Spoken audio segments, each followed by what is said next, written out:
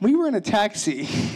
We had we had left a church and we were um, coming home to the hotel, and we were in this little taxi. We had gotten here, and we were driving, and like we were just talking, and all of a sudden we were coming around this turn, and all of a sudden I hear a th- like the entire car shakes, and our taxi cab got hit someone like literally like bumped into our cab and then he instead of he drove off it was a hit and run. And then it's not even the best part. What does our taxi cab driver do being colombian and thinking he's dom toretto? He turns around and begins to chase him. And mind you we're on the wrong side of the road.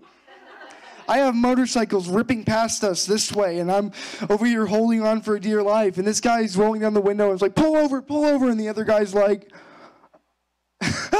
so he finally, now he's not having it. If you want to see him get close as you can to being an angry person, you should see him whenever I'm in some sort of danger, because he turns into a whole different story.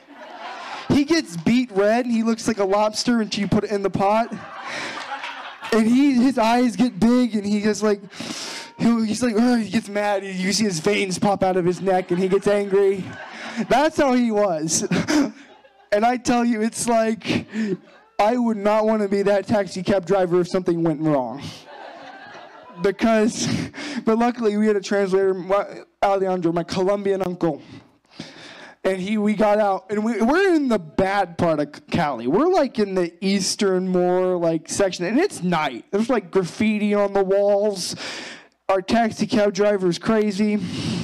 We get out and we walk to this little cafe and we sit down and we're just like a couple of gringos and an interpreter sitting at this cafe and these they walk up food and they're like you want anything and we're like no we're good We're just, we're just sitting here like we, we had to call an Uber, and luckily Ubers are better drivers than taxi cab drivers.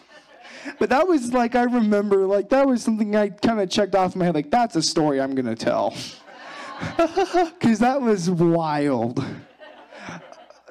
And it's better. It was. It sounds. It's a good story, but it was better to be in the moment and like live through it. Like the adrenaline going through your head, and you're like, "Oh, this is what it feels like to be a race car driver."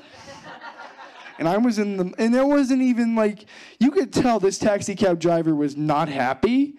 And it gets funnier because we were in our Uber driver, and all of a sudden we pull up to a red light, and we look over, and we see it's the same taxi cab driver with the bump, the dent in the back of the car, and he's like just looking at us like. He's just like, he just like realized it was us, and he was like, "Oh." And we didn't pay him. Like, we're not paying him for that. we're not going to give you money to endanger us. And if we wanted that, we'd go to a roller coaster or something.